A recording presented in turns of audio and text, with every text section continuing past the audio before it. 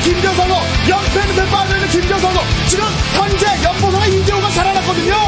예, 이런 김재현 선수라면 지금이 가장 기세가 올라 조호경 선수 꺾으면 4연패 선 아무런 이유가 필요가 없습니다. 40연패 그렇죠. 괜찮아요. 네. 지금 이 순간에 완전히 마침표를 찍는 게 김재현 선수에게는 무엇보다 필요합니다. 그래서 연패를 계속 하더라도 임팩트 있는 경기 딱 한 번이면은 김지현의 색깔을 바꿔버리는 거예요. 그렇죠. 네, 과연 이번 경기에서 김지현 선수가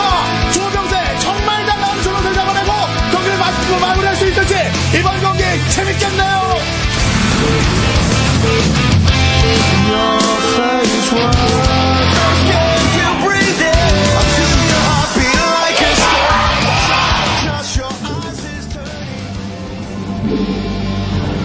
네, 경기 시작됐습니다. 네오메두사 먼저 3시에 김재훈 선수의 진영이 확인되고 있습니다.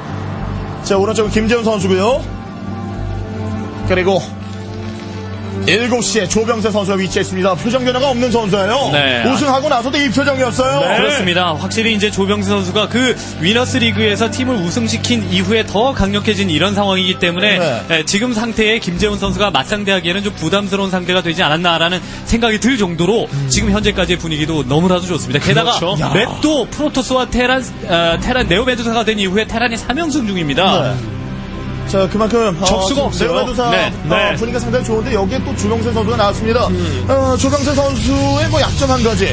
어, 프로토스전에서 60% 이하의 승리를 보이고 있다는 어, 점이에요. 예, 그게- 55%, 55%죠. 한 60% 최근 들어서 네. 프로토스 어, 약점을 보이고 있다고는 하지만 최근 들어 3연승이고 그렇죠. 네. 60% 야. 60%가 약점이라고 지적된 네, 선수면 이게 약점이에요. 네.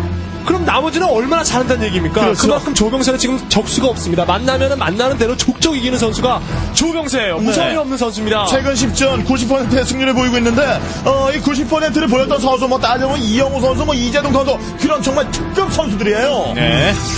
자, 가스를 가고 그다음에 이제 앞마당에 아, 그 앞쪽에 있는 pylon 옆에다가 gateway를 건설을 하는 이런 모습이 있죠. 네. 예, 김재훈 게스트. 선수도 normal하게 갈 것이 아니라 뭔가 이제 전략적인 수를 띄워서 조병세 선수를 아, 좀 흔들 필요가 있다라고 어느 정도 생각을 해가지고 온 것 같습니다. 원래 이 map에서는 어떤 식으로 플레이를 하냐면은 아, 뒷마당을 먼저 가져가고 난 이후에 two gateway 에, 짓고 그다음에 이제 가스 캐가면서 아, 이제 병력을 어느 정도 생산하는 이런 체제였거든요. 그런데 그렇죠. 예, 그런 그 체제에 맞춰서 테란이 워낙 잘 맞춰가지고 오기 때문에 어, 김재훈 선수가 뭔가 빠르게 확장 기지를 가져갔다가는 공격적인 조병세 선수에게 조여져서 끝날 수도 있다라는 예, 그런 위험성을 느낀 것 같습니다. 그렇죠. 김재현 선수 가스를 먼저 가져가고 그 이후에 게이트를 올렸거든요. 네. 자신의 플레이를 정말 하는 것도 중요하지만 상대방이 어떤 플레이를 하는지 일단 김재현 선수는 경기에 눈을 확실하게 좀 떠야 됩니다. 네. 예, 눈을 감고 아무리 헤딩을 해도 머리에 맞출 수는 있지만 성공률은 분명히 떨어집니다. 그렇죠. 네. 보고 머리로 내리, 내리 꽂아야 돼요. 그렇죠. 네. 상대방을 확실히 좀 보고 김재현 선수 그에 대해서 맞춰가고 자신의 움직임까지도 변화할 수도 있는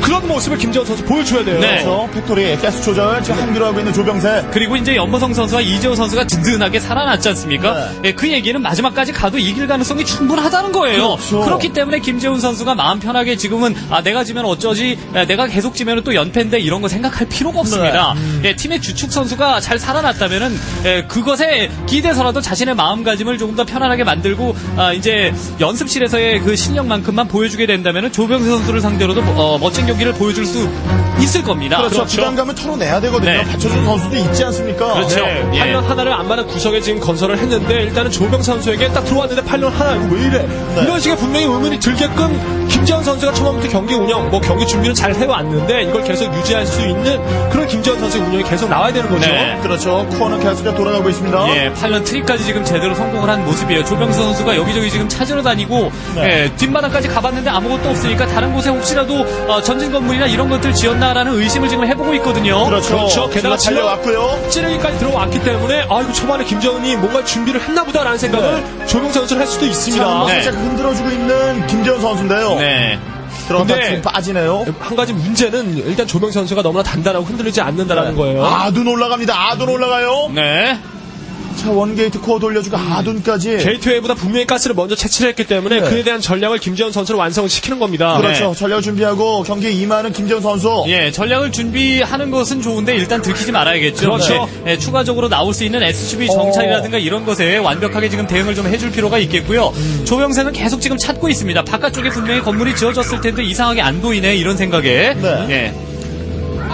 중립 건물 미네랄을 supply로 뚫고 올라오는 그런 경우가 분명히 있기 때문에 김재훈 선수 그거 조심해야 됩니다. 네. 그렇죠. 분명히 SCV가 들어왔다 밖으로 나갔어요. 네.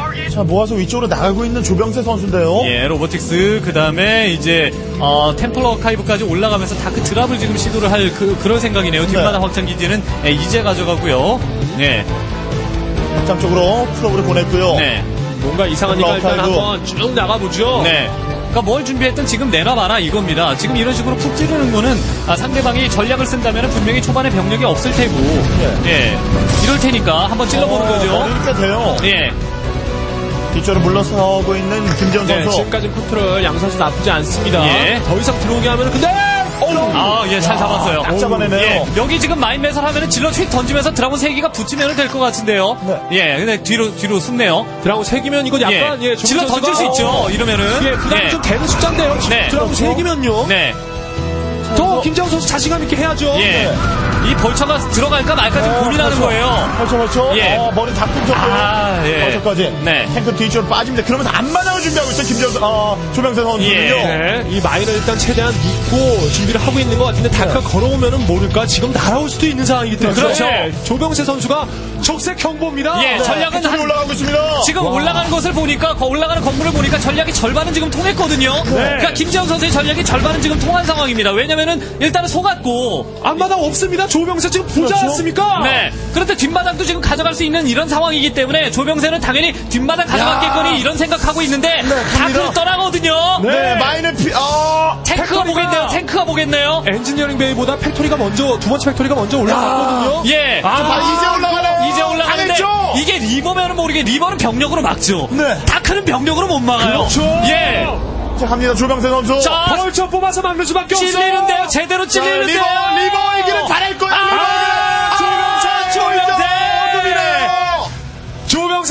고개를 뒤로 젖혔습니다. 예. 조병세 선수. 아, dark, dark만 딱 배제했거든요. 그렇죠. 예, reaver 오면은 탱크 나오는 걸로 막고 SCV 피하면서 막고 이러지 뭐. 이런 생각이었는데 앞마당도 게다가 허용했습니다. 자, 조병세 선수 이렇게 너무, 당하나요? 자. 너무 자신감 있게 조병세 선수가 했습니다. 예. 물론 김재훈 선수가 dark를 안 갔으면 조병세 선수가 지금 하고 있는 이런 체제 너무나 좋거든요. 네. 근데 dark를 가면은 무조건 경기 진다는 얘기입니다. 그렇습니다. 그렇죠. 조병세 하나 예. 접고 했는데 딱 그걸 김재훈 선수가 네. 했습니다. 예. 버틸 수 있는 거는 mine밖에 없어요. 네, 분명히 전략적인 플레이로 의심시켜놓고 전략 안 쓰겠지. 이런 생각을 했었던 것 같은데, 전략, 플- 전략적인 플레이로, 아, 분위기를 잡아놓고 진짜 전략을 써버렸습니다. 예, 두 번, 두 번 꼬았어요, 두 번. 그렇죠. 예.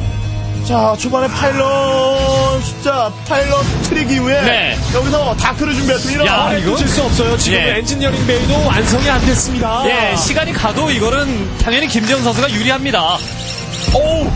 자, 끌어들이는. 플레이인데, 셔틀이 있습니다. 셔틀이 예. 이거는 어떻게 옥저가 나왔어요. 옥저가 나오면 안 됩니다, 이거는. 지나가까지 올 수가 있습니다. 예, 상대방이 6연, 뭐 9연승이든 10연승이든 20연승이든 지금 이 상황이면 안 돼. 진짜!